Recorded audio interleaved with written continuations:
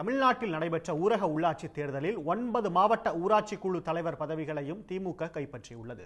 காஞ்சிபுரத்தில் மொத்தமுள்ள பதினோரு உறுப்பினர்களையும் திமுக கூட்டணியை கைப்பற்றியதால் திமுக வேட்பாளர் மனோகரன் போட்டியின்றி தேர்வு செய்யப்பட்டார். செங்கல்பட்டை பொறுத்தவரை பதினாறு உறுப்பினர்களில் பதினைந்து இடங்களில் திமுகவும் ஒரு இடத்தை அதிமுகவும் கைப்பற்றிய நிலையில் திமுக வேட்பாளர் செம்பருத்தி மாவட்ட ஊராட்சி தலைவராக தேர்ந்தெடுக்கப்பட்டார். விழுப்புரத்தில் இருபத்தி எட்டு உறுப்பினர்களில் திமுக கூட்டணி இருபத்தி ஏழு இடங்களையும் அதிமுக ஒரு இடத்தையும் கைப்பற்றியது.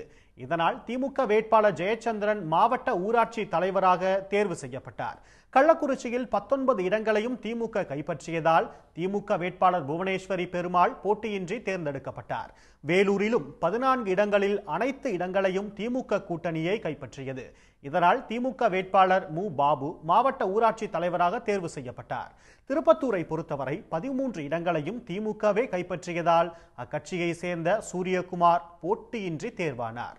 ராணிப்பேட்டையிலும் மொத்தமுள்ள பதிமூன்று இடங்களை திமுக கைப்பற்றியதால் ஜெயந்தி மூர்த்தி போட்டியின்றி தேர்வானார். தென்காசியில் பதினான்கு இடங்களில் திமுக பத்து இடங்களையும் கூட்டணி கட்சிகள் நான்கு இடங்களையும் கைப்பற்றின. இதனால் திமுக வேட்பாளர் தமிழ்ச்செல்வி மாவட்ட ஊராட்சி தலைவராக தேர்வு செய்யப்பட்டார். திருநெல்வேலியில் மொத்தமுள்ள பனிரெண்டு இடங்களில் திமுக கூட்டணி அனைத்து இடங்களையும் கைப்பற்றியதால் திமுக வேட்பாளர் ஜெகதீஷ் மாவட்ட ஊராட்சி தலைவராக தேர்வு செய்யப்பட்டார். உடனுக்குடன் செய்திகளை தெரிந்து கொள்ள சன் நியூஸ் பெல் கிளிக் பண்ணுங்க.